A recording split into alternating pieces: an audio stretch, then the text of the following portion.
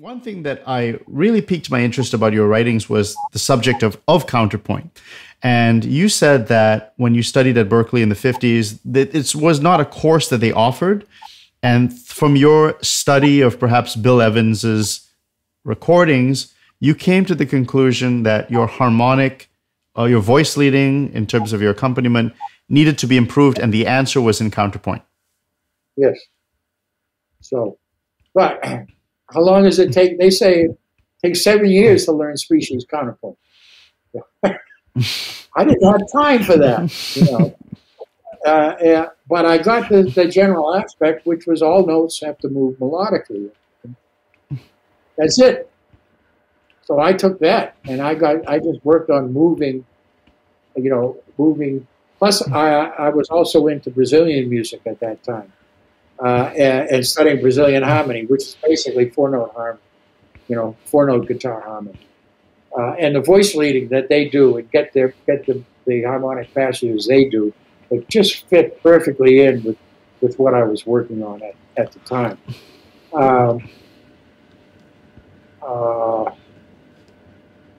how did so you? I couldn't, how did, I couldn't do counterpoint, but I could do my version of counterpoint, and I and I, I uh, I, I had some, some, coaches on the way, and I said I wrote a couple of things. And, I, and what was his name? Uh, Harvard University. He had the jazz department at Harvard University. And he wrote the Bill Evans book on uh, on that on a Bill Evans song. Uh, anyway, he he was my mentor, and I wrote him something. He says, "No, that's that's not counterpoint." but, but I, what I realized, I really had to know my inversions much better than than I did.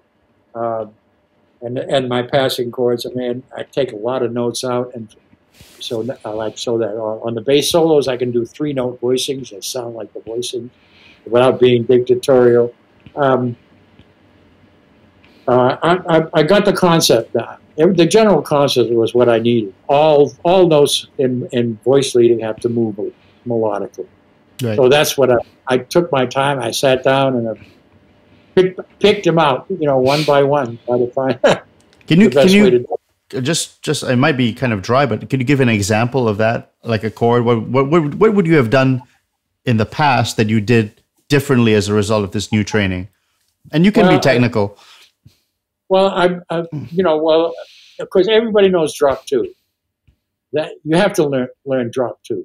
But I didn't know about drop two and four, drop three, and drop drop this and that, and all the all the other different kind of drop voices. So um, I uh, that's where that's where the inversions came in because if you're going to keep repeating, I can play you an example on the piano. Okay, yeah, so, yeah, why not? I, if you don't mind. Not at all. So here's drop two and four.